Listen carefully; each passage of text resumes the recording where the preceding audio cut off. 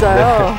싱싱하고 착한 가격의 해산물을 즐기기 위해 몰려든 사람들로 인산인해를 이루는 인천 연안부두 그 중에서도 둘째 그라면 서럽다는 이곳 발디딜 틈 없이 빽빽이 들어찬 맛객의 혼을 쏙 빼놓을 주인장의 한 수가 여기 있었으니 여기만 오면 아주 정신이 없어요. 반찬에 압도당한 느낌? 네. 여기 민녀 삼총사가 뜨면은 상다리가 부러진다니까요. 최고. 미녀 삼총사요. 이곳의 마스코트 미녀 삼총사 이단 미녀입니다. 네, 3단 미녀입니다. 어머, 다 이쁘시네요, 진짜.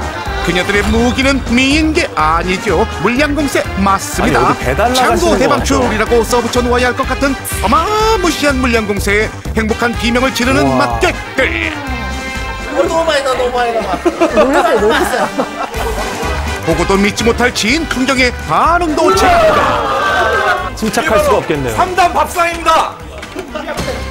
상다리가 휘청일까 행복한 걱정에 빠진 맛객들과 달리 밥상 위에선 도도 않고 때 꺾인 해산물들의 펄떡이는 아우성 치는 것도 힘들었겠어요. 어디서든 메인 요리 대접받던 귀하신 몸들이 이곳에선 누구에게나 서비스되는 기본 반찬일 뿐 산낙지, 전복, 가리비, 키조개, 제철 맞은 농어 회까지 절대지존 많은 게 있을까요? 61첩 해불한 상 납시오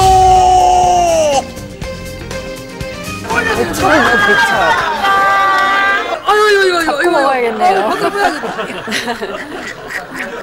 해먹으러 왔는데 이거 뭐 스키다시가 이렇게 많아.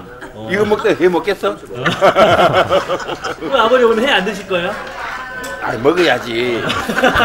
기분 좋은 투정이죠. 먹고 먹고 또 먹어도 옆 사람 눈치 볼 필요가 없으니 그동안 눌러뒀던 식욕 대폭발 61첩 반찬들이 맛객들을 유혹할지니 이 정도는 돼야 골라 먹는 재미가 있는 것이 아니겠는가 바지스에 놀라고, 맛에 놀라고. 먹는 재미가 있잖아요. 먹는 재미가. 전국에서 맛객들이 모여 다양한 해산물들을 먹다 보니 저마다 먹는 방법도 각양각색 개성이 넘친다고 나한테는 비벼야 제맛이지. 아. 오른손으로 비비고 왼손으로 비비면 더 맛있다네 봤어요. 이거. 이 바다에 가라간다, 이거. 야. 바다에 힘 가기 좋은 산낙지를 한 입에 앙 살아있네 아주 꿈틀꿈틀해요. 야. 제가 쌈 싸 먹는 법을 알려드릴게요. 해물로 부릴 수 있는 사치의 끝판왕.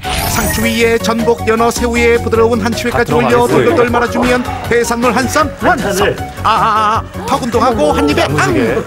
앙끝 오, 대단해요. 종류가 무려 61가지나 되다 보니 입맛 까다로운 이들도 이 중에 하나는 취향인 음식이 있는 법. 취향대로 입맛대로 골라 잡으면 되니 해산물을 안 좋아하던 이들도 불만 없음 이 집은 반찬도 나오지만 자, 이것도 나와요. 이것도 한번 보세요. 삼계탕까지요. 횟집에서 이 삼계탕을 먹어도 될지 모르겠습니다. 닭다리를 호로록 호로록 아니 횟집에서 먹는 삼계탕 맛이 어때요? 배고픕니다. 배고. 아이들도 있으니까 아이들이 여러 종류 해물 같은 거 집에서 여러 종류를 사서 먹기 힘든데 여기 오면은 한꺼번에 다양하게 애들한테 먹을 수 있고 아니 실속이 많아요. 이제 해산물 종류가 많으니까 일단 가격대에 비해 되게 저렴한 것 같아요. 저게 다 회 시키면 다 나오는 거예요. 아 따로 돈을 내는 거 아니에요? 아니에요. 아 무조건. 네.